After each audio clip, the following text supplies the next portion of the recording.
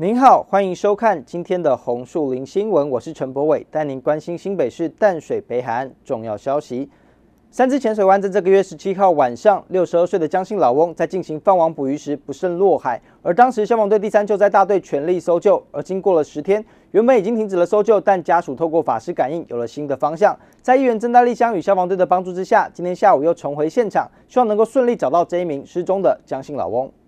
发生在这个月的十七号晚上，一名住在三支区新庄子六十二岁的江姓老翁，在三支社寮渔港附近的海岸进行放网捕鱼时不慎落海。而当时消防队第三救难大队也出动了直升机、船艇，还有许多人力。经过三天的搜寻，还是没有下落，甚至还折损一名水上救生协会的救生员。而对于失踪老翁家属，还是不放弃。经过了十天，原本已经停止搜救，在议员郑大立香与消防队的的帮助之下，今天下午又重回现场，希望能够找到这一名江姓老翁。那昨天听他们家属的一个陈述哦，说他们感应到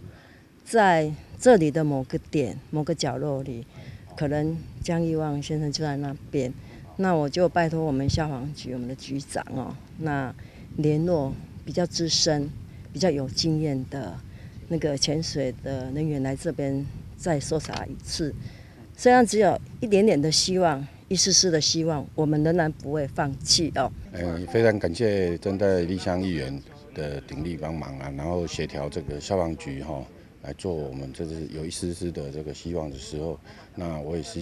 非常感谢议员跟消防局这边还有所有的搜救人员，对，那就希望这一次的机会，然后来做这个让我们叔叔能赶快这个尽快回来。家属表示，虽然生存几率已经非常小，但是不管如何，还是希望能够找到这一名江姓老翁。由于日前家属有请到法师来感应，疑似还在原本失踪点附近的海底，因此今天下午趁着农历十五号大退潮，由护卫消防分队三十年经验的潜水长来进行下潜搜寻。他因为现在是退潮，那退潮里面那个礁石会浮出来，那我们针对他失踪的地点。从它失踪地点的右侧这边，那一个一个礁石一个礁石，那里面其实是有那个沟缝沟跟缝的。那我们在研判说，那可能是不是人？因为这么多天了，是不是会那个卡在？缝里面啊就不能上来。小队长表示，在经过第一次的轻装备浮潜之后，发现底下都是珊瑚礁岩地形，研判有可能是会卡在石头底下。而第二次则是换上了潜水装